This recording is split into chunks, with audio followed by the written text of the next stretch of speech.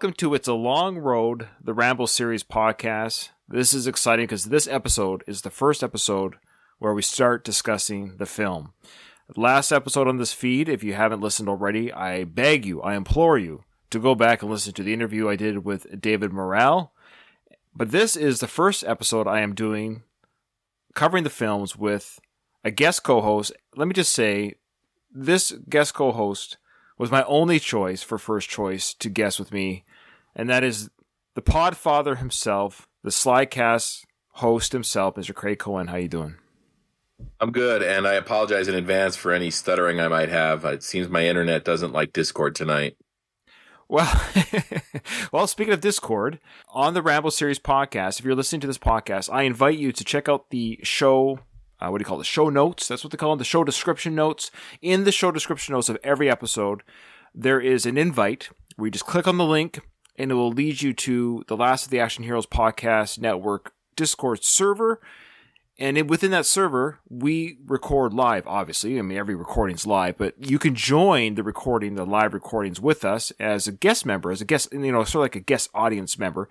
You don't come on mic or anything, you don't come on camera, but you get the crack wise with uh, me and my guest host, whoever it is at the time of recording, and offer your insights about the Rambo franchise. And today we have Donald who is a regular the other shows that we do on the last of the action heroes podcast he is a great contributor to the podcast with his insights and humor he's been following craig since his camel clutch podcast days welcome donald to discord so again i invite everyone to join our discord you can uh, join these live discussions well craig i'm personally very excited to start covering Rambo. I have been looking forward to this journey for so long. I'm actually giddy, and that's a good sign. I'm giddy again. I'm excited again to podcast. You ever get that feeling when you start a new project? Oh, absolutely. And that, I mean, that's the reason you start something like that is because it's got your excitement levels high and your juices flowing and you want to be creative. This is a great set of movies to talk about. So I know people can go, and I invite everyone to go to the Slycast podcast. Mr. Craig Cohen has actually interviewed before me, and rightfully so, David Morrell, the author. It's a great, what was the 35th anniversary special to First It was Blood? the 35th anniversary of First Blood Part 2. So Part we kind of talk about where David is with or was with Rambo at that time, his thoughts on part two, and then also the unique situation which saw him writing the novelizations of those two sequels, two and three, which uh, an author hadn't really done before. So that's a great episode, that 35th anniversary episode. I'm really proud of it. You were part of it. Doug was part of it. Mike Kunda was part of it. We got listener comments all around. Yeah, that's on the feed here. And then also, if you go back to the early Slycast episodes, we did a joint First Blood and First Blood Part 2 episode, and we also did a Rambo 3 episode. Yes, so please check those out. Craig, as always, does a wonderful job dissecting, talking about, well, all the Stallone films that he does, but particularly the Rambo films, the Rambo franchise. And I hope to do half as good as you do, Craig, in talking about these films. Will be longer. longer isn't necessarily always better. So I'm really hoping that my series, though it will be longer than your coverage, it will have the same quality of coverage that you've done on Slycast. The beauty of, you know, what you were doing with going the distance and now it's a long road is Slycast, we were doing two and a half, three hour episodes at some points. You're going even longer, sort of over the course of a season. So it really allows you to explore sequences and things that are worth talking about. It's awesome. You can never have too much coverage. Oh, good. Well, we're going to have too much on this podcast feed. I can't wait. So check out this show and all the other shows on the Last of the Action Heroes Podcast Network. Just Google Last of the Action Heroes Podcast Network, and you'll get all the shows that are available on that network. A lot of great action movies and action heroes. Craig, in a nutshell, because we're going to have new listeners. I think there's new listeners listening to us just because it's a new Rambo podcast. So people might not have heard your take. What does Rambo mean to you? Oh wow. Rambo was really sort of my cinematic entry into modern action movies. I'm not entirely sure that in 2022 we can consider Rambo an action movie. I'd almost wonder if it's kind of more of a thriller, would you say? For me, I saw it at an age where, you know, it was on the cusp of, of all those classic movies coming out. And it almost feels like First Blood is a good bridge between the 70s action adventure movies and what we got in the 80s. And then, of course, First Blood Part 2 took it to the level that everybody sort of aspired to. for me, it's really sort of my cinematic entry into modern action adventure films. It's a character that I've been on the ride with ever since. Sadly, it didn't end the way I would have preferred it to end, and who, who knows if it's even over. There's great things about it, about each film. And I also think the character himself was important. The idea when First Blood came out and when David Morrell wrote the novel 10 years earlier of how these soldiers were impacted by the Vietnam War mm. and what they saw over there and how they were treated when they got home. History has appreciated those veterans alive and killed in action and missing in action a lot more since First Blood came out. We got the big wall in Washington D.C., the, the Vietnam Veterans Memorial. I'm not sure if this film helped turn the tide or not. I mean, after First Blood, you got a lot of Vietnam movies as well. I mean, of course, Apocalypse Now kind of started things, but a couple years after this, you had Platoon and Full Metal Jacket. It's interesting. Rambo's a very, very important character to me, and I almost feel if I had to choose a side, if I was caucusing, I would probably fall on the Rambo side as opposed to the Rocky side. Yeah, I mentioned that in my trailer episode, so to speak, of what to expect from this series. That there is a Stallone crowd of uh, fans. That there are people who now you're not quite like this, but there are people who are Rambo fans that aren't Rocky fans, and I was fully expect I'm going to get listeners of this podcast who haven't heard one lick of my going the distance podcast. In fact, I've got some fan mail right now that I'd like to read, and I say, oh, sorry, look at fan mail. Look at me, I got fans already. we haven't recorded a full episode yet. Well, I got a couple emails already. If you want to send an email, and I'll read it to the listeners on the show, send me an email to Rambo Series Podcast. That again is Rambo Series Podcast at gmail.com. And already I got two emails from that introduction episode that I did. One is from a listener that I had from Going the Distance, the Rocky Series podcast. He's our favorite German. His name is Patrick Mintel. He says, Hello, Ryan. Just wanted to tell you that I'm very much looking forward to the Rambo Series podcast. I will be there all the way. And I love all the five movies, all for different reasons. I think that's fair. I, I feel the same way. And maybe we get another Rambo film with Sly. You never know. And that's true. we just never know. He says here, quote, It's a long road. What a great title you came up with, Ryan. Or was it a guy from Germany in an email from November 23rd, 2019 who wrote, quote, P.S. Are you still planning to cover all the Rambos after Creed Part 2? And what about It's a Long Road, the Rambo series podcast as a title? End quote. Now, wow, that's very specific, Patrick. I'm wondering if you're trying to insinuate that you're the one that gave me that idea. And yes, he was. I think I put out on one of my podcast episodes when I was talking about doing this podcast with the with, during the Rocky time, saying I don't know what to call it. And Patrick, yes, full credit to Patrick Mintel. For better for worse, Patrick, it is your title's name. I loved it when I saw it. I'm like, oh, I can't believe I didn't think of it. But you came up with the idea. So I love the title. It's, it kind of fits with that going the distance moniker. And so that's why I loved it so much. So thank you, Patrick, for that. Oh, awesome. Yeah. He goes on to say that he won't charge me for that. Well, it's good because I don't make any money off this. He goes on to say, by the way, when I turn 50 years old in five years, I guess he's 45 now, my family and I, together with another family, are planning a trip to Canada. My buddy and I will definitely travel to Hope for one or two days to visit the First Blood locations. Hey, Patrick, I don't know if you knew this. I'm just a few hours drive away from that. Yeah, ferry ride as well. So if you want to visit me and while you're in Canada, come say hi. We got five years to plan this, so no no rush. He says, so let's start walking that long road over the next five movies and 37 years. It'll be one hell of a journey. Cheers from Germany, Patrick. Thank you so much, Patrick. That's amazing. There's a movie that came out within the last couple of months called Antlers. I believe it's here on HBO Max here in the States, but it's my understanding that was filmed in Hope, British Columbia. Oh, probably the Pacific Northwest here in BC is beautiful for those type of films. If it's atmospheric type, I don't know the film, but uh, do you know that Rocky Rocky himself saw the film, but he referred to it as Rantlers. Yeah. a little Rocky humor. Well, that's a deep cut for our Rocky Five fans. Boy, if you're like, "What's Ryan talking about?" then you are not a Rocky fan. Okay. The second email is from Mr. Mark Crane. Welcome to the show. Welcome to the journey of the Rambo Series podcast. I'm 99% sure he didn't listen to my going the distance. But if I'm wrong, let me know because he says hi. He just says here, my first film I watched on VHS was First Blood. He goes on to say how this happened was his mom rented two movies, Elephant Man and First Blood. He thought First Blood was a horror film, so he chose that based on the title to watch, and now it's his favorite film is First Blood. It says here, really looking forward to listening. Thank you. Well, thank you, Mark, and I hope that I do First Blood justice to your fandom of the movie. I think it's great that your mom rented the film. And I will say, it was actually my parents that rented the film too. That's how I saw it at a young age. It came out when I was seven years old, or just shy of turning seven, actually. And I, of course, didn't see it in the, theaters, but I saw it on VHS myself. Probably I was about, I would say between nine and 10.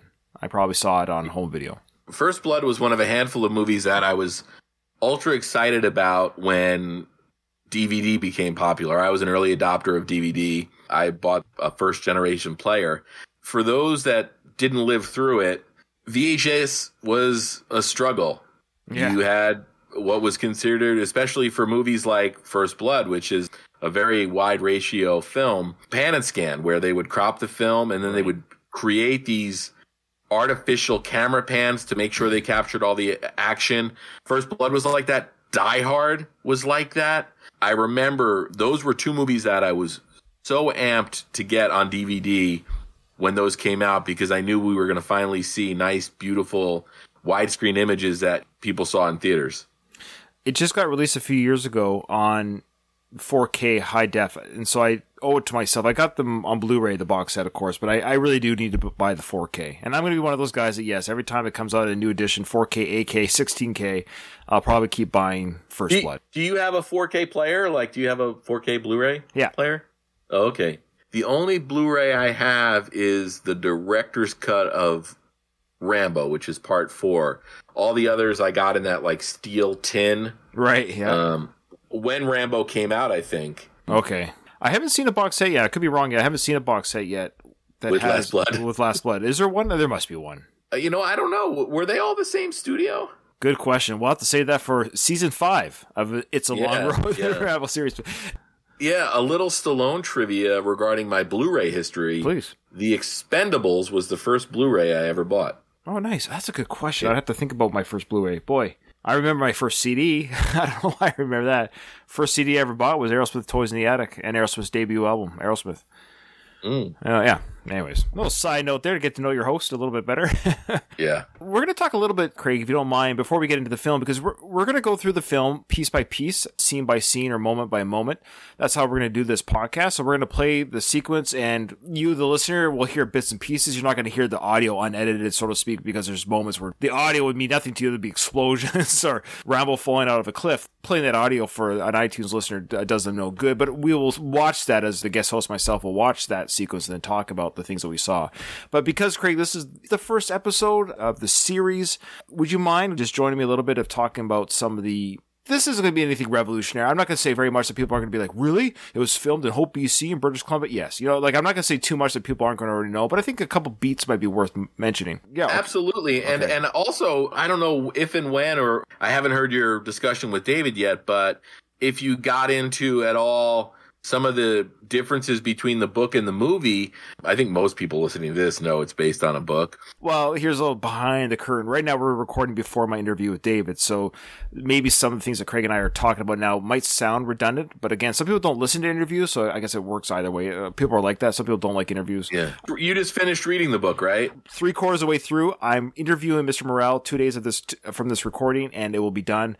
So we could talk briefly about the book, and I don't mind doing that since that is the genesis of this character. I mean, I think Yeah. the main thing is in the book, it takes place in Kentucky. It's one of a handful of books I've read multiple times, but it was yes, not it was Madison, like- Kentucky. That's right. Yeah, so it takes place in Kentucky. So that's a, a location swap out they did. And, and I don't believe in the book, it's not like a Kentucky winter or anything, right? in the book, it's fall. It's crispy at night. Yeah. They're cold, but there's no snow. That I, if I remember correctly. Yeah. But definitely the elements are uncomfortable for Rambo and, and the gang. The people are cold and wet. There's a there's a lightning storm and rain and flooding and what have you. So it, it's not nice weather right now in the book. The other thing that we should let people know is the changes that Stallone made to the book made the movie the movie that it is, made it connect with audiences the way it did. In the book, you get alternating chapters devoted to Rambo and then also Teasel. And you get a lot more Teasel in the book. In the book, Rambo's a psychopath.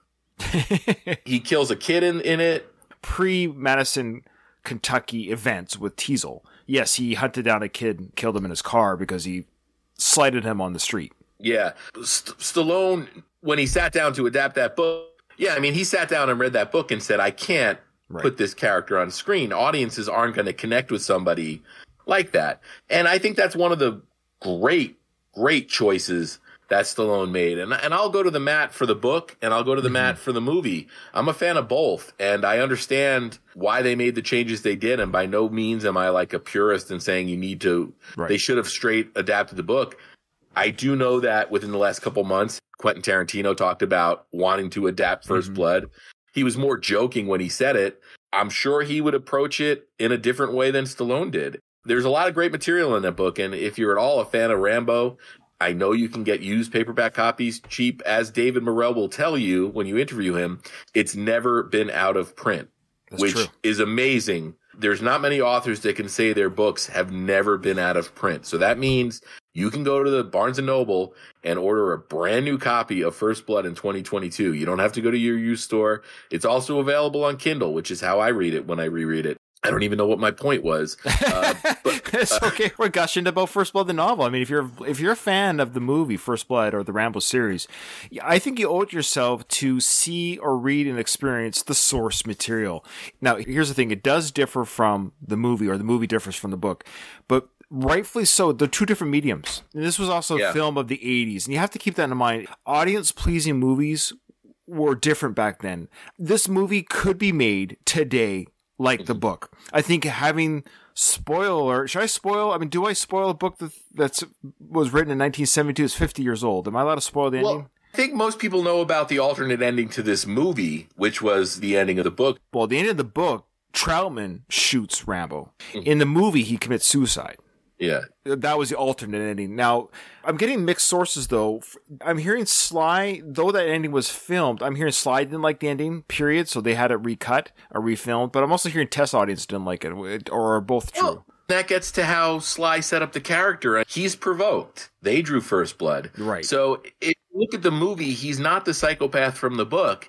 He's a guy that just wants to get a hot meal and go through town, and he's pushed. Probably could have reacted to it differently, but this is also a guy that was trained to do what he does. He explored that in the other movies, and he explored that brilliantly in part four. His reaction shouldn't surprise anybody, and it doesn't surprise Colonel Troutman. what's really cool about this is that the book and the movie are very similar in tone. The character of Rambo is actually very true. Like Stallone's performance is amazing in First Blood. Yeah, I think I think I- the. Uh, go ahead. I'm sorry, you're the host here, Ryan. No, that's Uh, fine. You're the guest. I'll be here the whole series. You go ahead. Yeah, hopefully, I get invited back. Stop. no, I think another major point is David Morrell wrote this in the early 70s. Vietnam was still ongoing. The character of Rambo was younger in the book. Yeah. And also, he was looked at by the people in the book differently as well. But I agree with you in the sense that Stallone did capture the essence of it. And I think overall, the essence of the book is Yes. there. Not to plug my other shit, but on this network feed is an episode of a show I used to do called Big Screen Book Club, where we talked about Die Hard and the book that inspired it called Nothing Lasts Forever. I'm a fan of both of those as well. And I think the movie works as a movie and the book works as a book, and they both work for their reasons. And I think the same thing can be said of First Blood is First Blood's a great book and First Blood, the movie, is a great adaptation of that book. Other filmmakers would approach it differently. If they made an Amazon sort of original of it and made it an eight episode series, Right. it would be different. We wouldn't be doing this show right now if Stallone didn't sit down and write the script for First Blood the way he did and create a character that audiences can get on board with. And Sly knows how to give audiences what they want. And he doesn't do it in a cheesy, pandering way. It's always just him knowing how audiences think and how audiences respond and what they want to see. That's what he did with Rambo. And that's the reason that they made more Rambo movies. And that's the reason we're talking about Rambo in 2022. To me, it's amazing that he created two iconic characters. Most people don't even get to create one iconic character, let alone two. That's pretty remarkable. Have you seen the alternate ending? Um, I believe it's on the set I have, and it was also part of the montage in Rambo 4. It might be the director's cut. It's been a while since I watched it, but you actually see the shot of Troutman, I think, going for the gun. So you actually see the blast. Again, it's been a while since I watched Rambo 4, and I can't remember if it's theatrical or the director's cut. I'm pretty sure that the set I have has the deleted scene as well. You can just go on YouTube, guys, listeners. If you haven't seen, just put a uh, First Blood alternate ending, and you'll see. Uh, I don't want to really spoil it. You can watch what was filmed. It's there to it's there to watch. Uh, Rambo dying by the hands of Colonel Troutman. It's kind of a combination. I would say murder suicide per se, but it was Yeah. like Troutman's holding the gun, but Rambo squeezes the trigger, and you'll see. That's the reason Kirk Douglas left this movie. He was originally supposed to play Troutman. Do you know why he was upset about the script or something? I know he wanted more screen time. Was that all? Or He, he wanted to he wanted to kill Rambo. I think he just wanted to kill Stallone. he wanted a live round in that bullet, and they told him, "No, sorry, uh, Mister Douglas, these are fake rounds. That you're not killing anybody." And he left in a tizzy. Okay, yeah. So he left. Richard Crenna was the last minute addition to the film, and boy, can you picture anyone else playing Troutman than Crenna? Oh, it's one of those things where you always say it's it's great that things happen the way they did. Right. I'm sure when they were in pre-production on that movie and they had the quote unquote true creative differences with Douglas, that nobody felt great about it. 40 years later, you watch that movie and it's Richard Crenna's performance. I don't know if what you did when you read the book, but when I read the book, I picture Richard Crenna. Yeah, and I'd actually just picture a younger Rambo because they really do a good job, and well, they, Mr. Morrell, the author, does a very good job at describing this young kid, and you can't help but see the character as a young kid in the novel, but I still just see a younger Rambo or Sly's version of Rambo. It's just easier to see his image uh, running around. Speaking of casting, Brian Dennehy uh, playing Teasel, boy. Uh, he what a powerhouse! With those three in this film, I mean, absolutely all three of them. Every scene they are in is just scene stealing, amazing Um, stuff. The book again gets more into Teasel's sort of Korean War backstory. It's a great read, and there's a reason that it's been in print or never gone out of print, and that David Morrell is a working author. He's got a lot of books out. First Blood's not the only movie that's been made out of his material. But what's crazy So- though is it was the first book he wrote or got published. Yeah, yeah. What a way to start your career. Hey, I'm just going to write this book.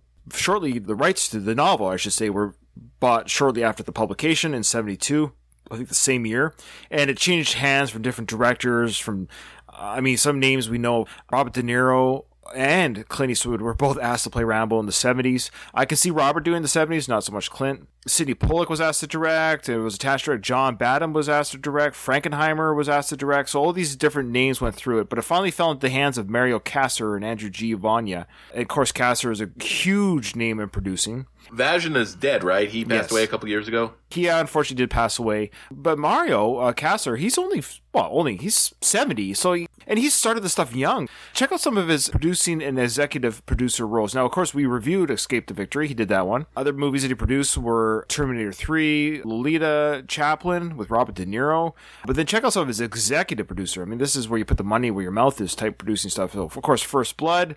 Part two, of course, Rambo 3, Red Heat. I'm just doing ones that we would like on this network. Total Recall, Air America, LA Story, The Doors, Terminator 2, Basic Instinct, Universal Soldier, Cliffhanger, Stargate, Showgirls, Terminator, The Sarah Chronicles television show, Terminator Salvation. My goodness. Yeah. He's younger than Sly, which is kind of wild. Crazy. also still alive. I've never made an attempt to reach out to Mario, and I've never also made an attempt to reach out to Ted Kotcheff, who is the director. Another fellow Canadian for me, because David Morrell's Canadian as well. Yeah, and I believe Ted Kotcheff or Kotcheff is more of a, like a TV guy. Most of his credits are TV. I don't know much about that, to be honest with you. He's 90, I think. You can say what you want about the aesthetic of First Blood. It's a very raw movie. Everything in it looks real because in 19 the early 80s, late 70s, they had to do everything for real. There was no way to fake it. What I wanted to get to, and I think that's a problem with some of the more modern action movies, is they don't get guys like Ted Kotcheff to direct these movies anymore. You get a McG or a Michael Bay.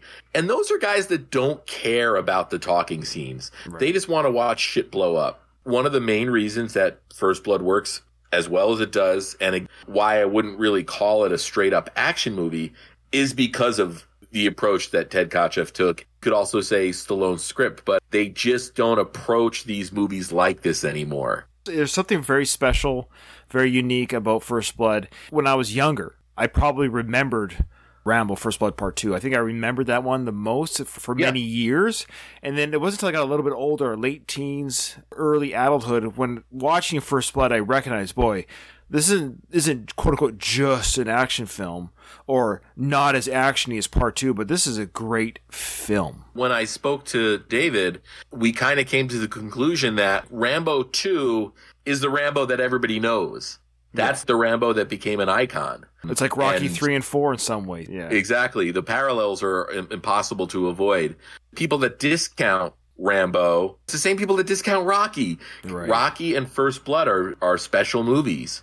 Their respective franchises have been looked at in a certain light because of the movies that came after them. No, Rocky won Best Picture. Yeah. I think Stallone should have won an Oscar for First Blood. I think he should have been nominated. and I think he should have won. I agree. There's something about that non-speaking acting and the the physical acting that is nothing to slouch at. Physical acting is a real thing, and we're going to talk about those beats as we go through the film in, in this season, season one, where we cover First Blood. I mean, we're going to hit on production stuff as we go through the series too. I don't want to do all necessarily one episode. I want to kind of hit some beats with other people. Yeah, so based on the novel by David Morrell, Again, check out the interview I did with Mr. Morrell. I am going to try to reach out to Mario's team to see if he'll be willing to talk. I think his uh, job as a producer, basically him getting this film financed, was a huge part of uh, the success f both for Mr. Morrell's career.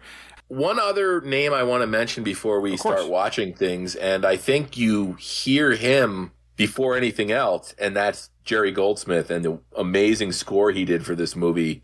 It's the parallel paths that Rocky and Rambo have taken, but I mean, Jerry Goldsmith's score, Incredible is just as important and as powerful as Bill Conti's score was for Rocky. Both Bill Conti's "Going the Distance" was the name of my Rocky podcast, and and of course Jerry Goldsmith's "It's a Long Road" composition is uh, named for this. So I just kind of found that interesting that happened that way. But yeah, go ahead.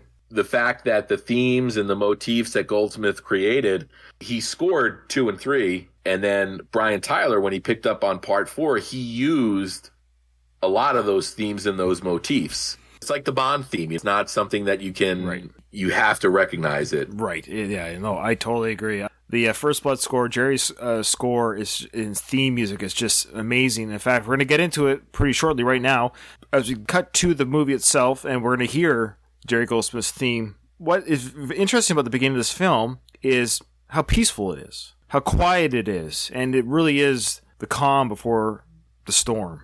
I love that acoustic work there.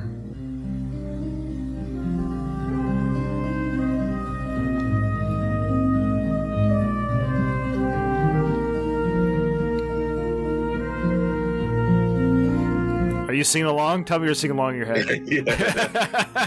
We're all singing the song. When they drew first Yeah. blood. There's a really good special edition of this soundtrack that was released that you can probably still find online. I just love the acoustic guitar.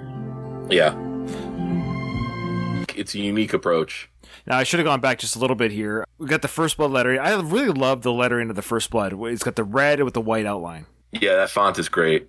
So what we have here, folks, we have the opening sequence here of First Blood has hit the screen, and of course, actually before First Blood, you got the big Sylvester Stallone in First Blood.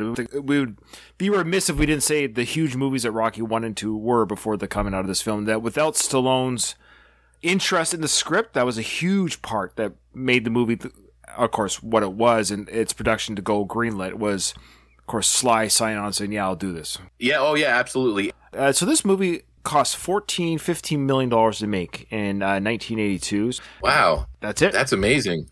That seems like a risky budget in 1981. today's money so this film was greenlit today today saying here's 42 million dollars to make a film that's you know for an Yeah. independent film that has no cgi let's say some very small hmm. set pieces all in the force yeah i guess it's kind of a healthy budget towards the star director composer and a budget enough where you're nearing half a million maybe where you're like okay we better make some money and money it made so it made 156 million in 82 which in today's money. That's a $434 million box office hit on a $40 million budget. So it made a hundred times its money back. Yeah, that's global, right? It- That's that- global. And it was the number one selling movie in China until 2018. Oh wow! And then some Marvel movie probably. took yeah, the title. I think I think it was Endgame. Endgame was 2018. Yeah, Yeah, is that amazing? it is. It sold the most tickets ever in China alone. I, I find that incredible. Every time I see the word China, I hear Trump's China. Don't you? I You're hate not- it. you're not alone. He's either ruined China for you or he's made it more fun. I think he's made it more Yeah. fun for me.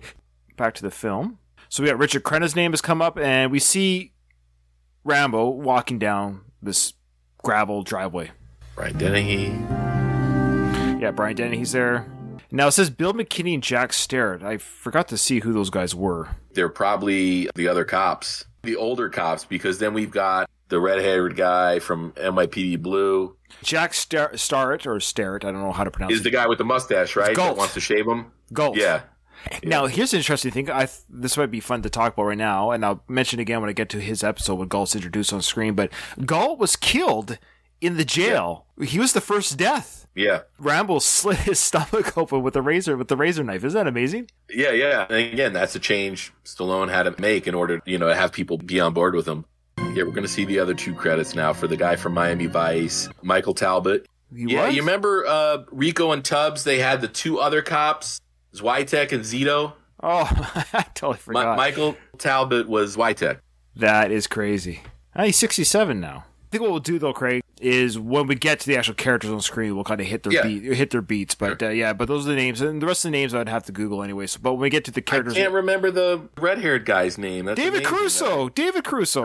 Oh. David Caruso. Come I on, remember Miss- that being Mr. Michael Talbot before I remember David Caruso. That's ridiculous. But David Caruso, he went on to great fame, of course, with CSI Miami, where in every episode he'd take off his glasses. Isn't that how they Yeah, he was like a meme. He was one of the first memes, probably. taking off the sunglasses?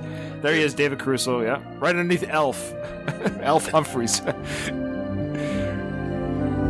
Okay, so we see uh, Rambo walking down the driveway. He's wearing that army veteran type jacket. In the book, he also carried a sleeping roll with a with a rope, so they kept that as well. Now, this whole sequence here, what we're going to watch, Craig, did not happen in the book at all. Again, this is 10 years later. I think we were starting to see the fallout. They were starting to have discussions about Agent Orange and what it had done to some of the soldiers coming home. And it's alluded to here that the cancer that he gets is because of chemicals he was exposed to while in Vietnam. And that's the question I maybe I have for you. Now we know it's interesting. The book took place or was published in '72, and the war was still on for another three years after the Yeah. book was published.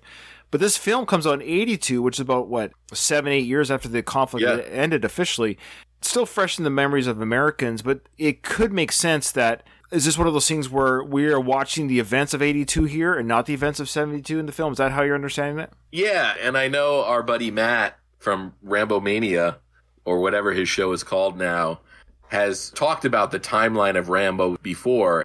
I think he falls on the side of it is the 70s, but I've always taken this as the movie takes place in the year it was made. Yes, I. Um, there's no information, well, aside from Stallone's age to indicate that, because if it did take place in 72, Stallone would have been younger. Because what, Stallone was, He's 36 in uh, this film. yeah, So that kind of makes mean- more sense for his age. He looks 36, which is he, Yeah. looks, he looks great. He's in great shape, but that would make more sense that the conflict ended 10 years previously. Let's say so he was 26 when the conflict was over. That kind of makes sense. He was, you know, 5 years in the Vietnam War, survives the war, Yeah. and he's still wandering the roadway so to speak, you know, 7 8 years later and he's 36 now in the film. I think timeline wise it makes sense and I don't think it was uncommon for people to still wear their fatigues or jackets from the war even in the early 80s. Well, that was his identity. That's all he had. Right. The reason why he's on this property, if you look at his face here, Craig, as he's walking down the driveway, he looks content and very happy, wouldn't you say? Yeah, I think there's going to be a shot in a couple of seconds where he's sort of overlooking the property and they do a, a shot on him where it's a look of hope. I think he's excited to meet his friend who he's going to learn in, in a few short seconds is dead. And that's what really is the first thing that triggers him. But it's heartbreaking almost to Yeah, right.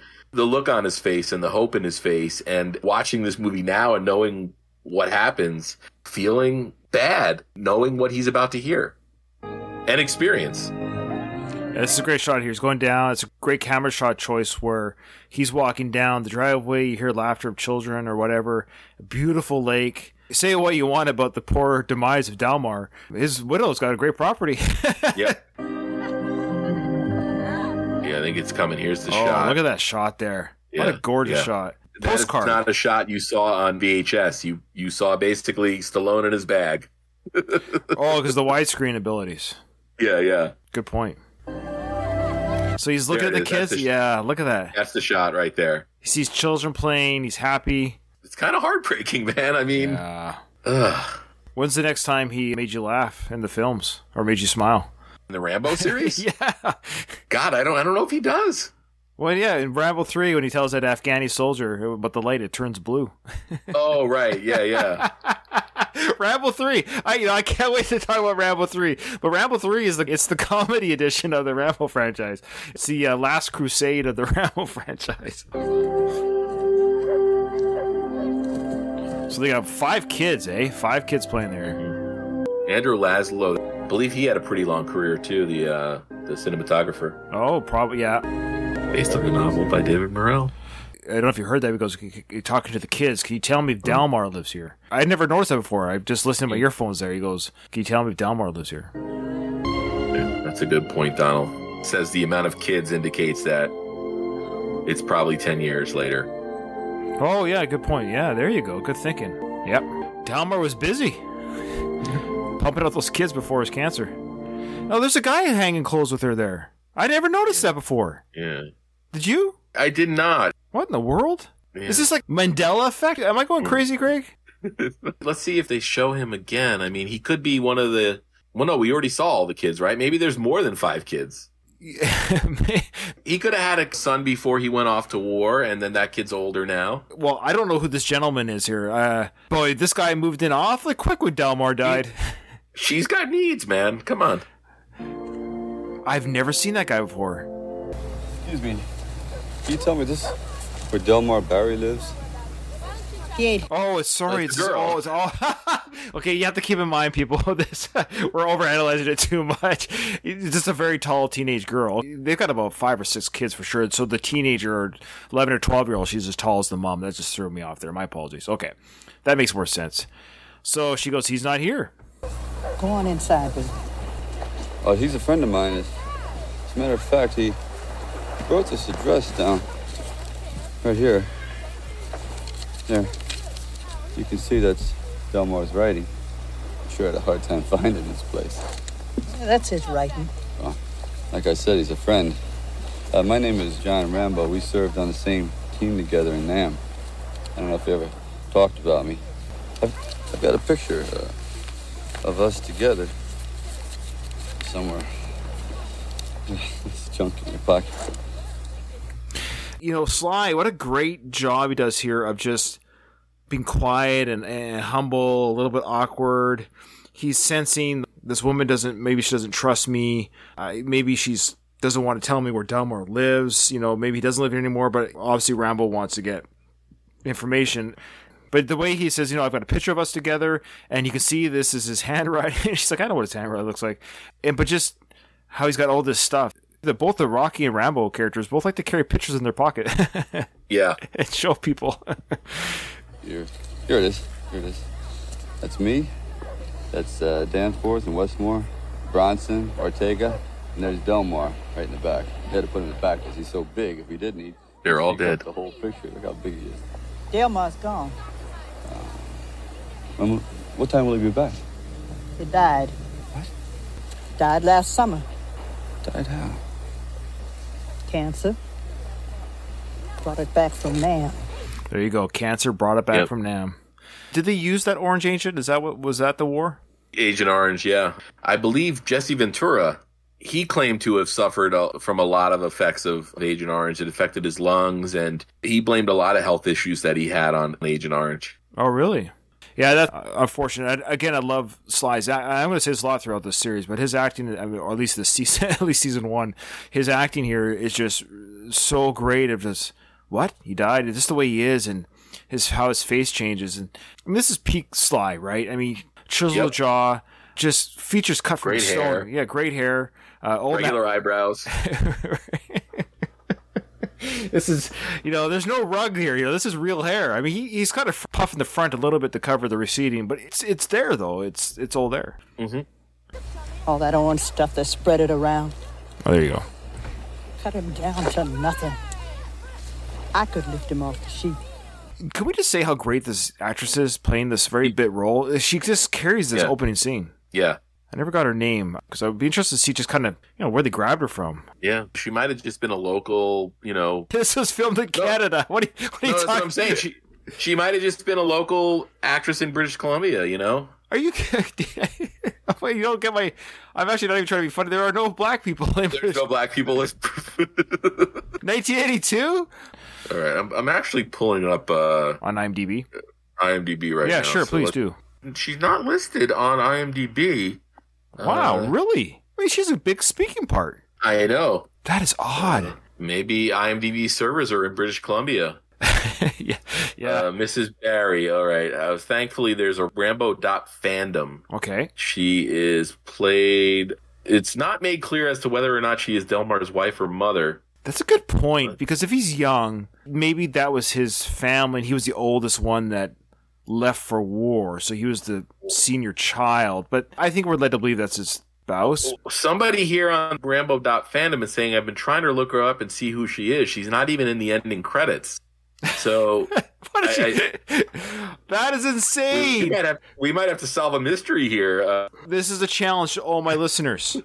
Right now, I need you guys. I need detective work done right now because Ryan has to get her on this podcast.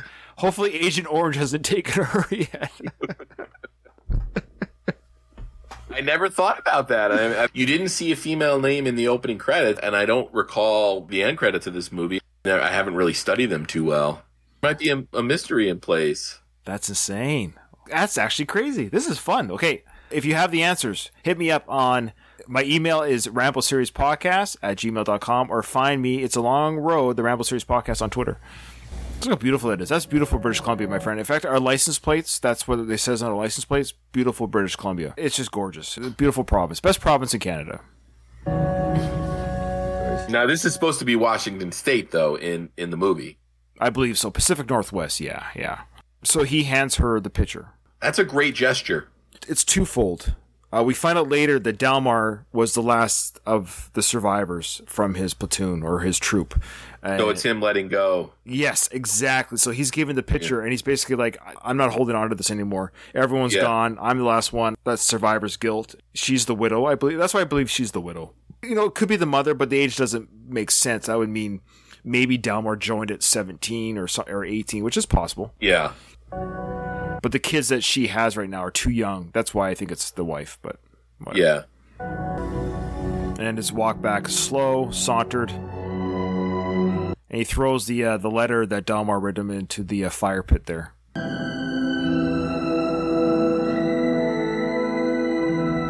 And man, that is British Columbia if I ever seen Yep. it. Oh boy. Yeah. So he's walking on the street, the highway there. His hands are cold. He's breathing on them. He's not hitchhiking, but he's he is looking at some cars as they as they pass by. Maybe he's thinking about hitchhiking, but he, I haven't seen him put his thumb out yet. Yeah. That's a good point, Donald. Rambo is not sentimental.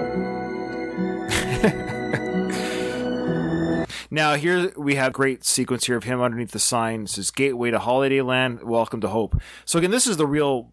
That's really in Hope, British Columbia. I don't know if Yeah. that's there right now, but that's a nice little slice of history. Like that's what Hope, British Columbia looks like or looked like uh, again in uh, 1982. So it's a nice little film history, and it's nice for me because you know people who are from Philly or they watch movies in New York or you in Las Vegas, you get to say, "Hey, that's why that's in my area." So for me, this is my movie. You know, where I can say this is my stomping grounds. This is uh, I wasn't raised in Hope, but I've been through BC so much as, as a province that I've been through Hope, BC, many times, and yeah, it's just kind of cool to see. This is my homeland, so to speak, for this film.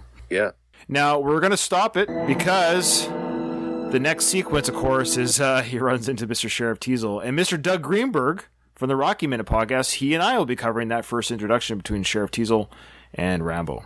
Lucky guy. You're the inaugural though. You're the Podfather. You Yeah. came on the first episode, and I've told this to Doug for Rocky Minute. I fear no minute, and the same holds true for uh, the Rambo series. So, anytime you need me, Ryan, scheduling permitted, it does help that we're both in the same time zone. I'm there, man. I'm not afraid to talk any scene in any of the any of the movies. And told Doug I'll take the scenes in the Rocky movies nobody else wants, and I'll do the same here. that's awesome. this movie has a great setup, and I think that scene it's not in the book, but I think it's an important scene to sort of set up the character, where he's at mentally. Tells a lot of story. Very little dialogue tells a lot of story. Yes, I totally agree, Craig, and thank you so much for coming on. So I guess that's it, Craig. The first episode is over. Nothing is over, Ryan. You don't just turn it off.